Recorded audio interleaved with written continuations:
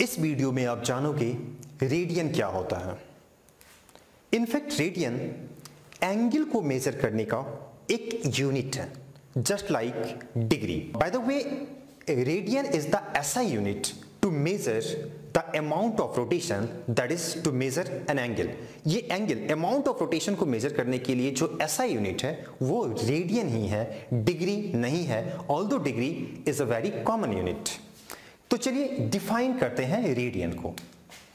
No radian को define करने के लिए आप कोई भी एक सर्कल बना लो of any radius draw circle of any radius आप काफ़ी छोटा बना सकते हो, काफ़ी बड़ा बना लो। नो सपोज़ कि इस सर्कल की रेडियस है R then cut an arc of length इसमें एक आर्क को आप कट कर लो, जिसकी लेंथ भी आर होनी चाहिए।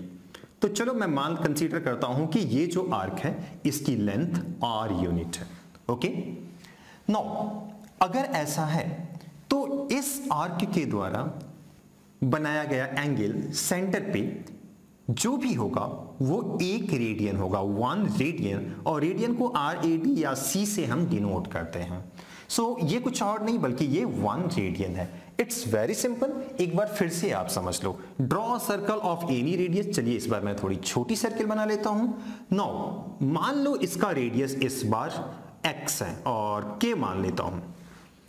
तो जो कुछ भी है ये के सेवन हो सकता है नाइन हो सकता है ट्वेंटी फाइव हो सकता है। तो इस लेंथ के इक्वल आप एक आर्क यहाँ ड्रॉ कर लो।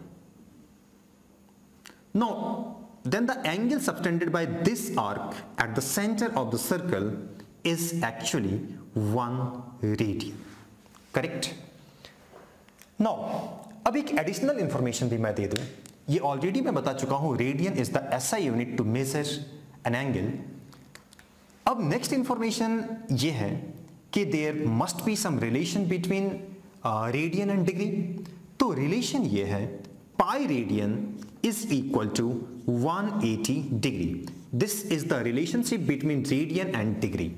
And by the way, 1 radian is equal to 57.3 degree approximately. ये approx value है okay?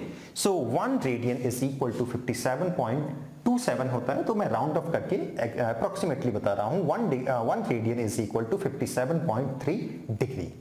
So that's all about the radian.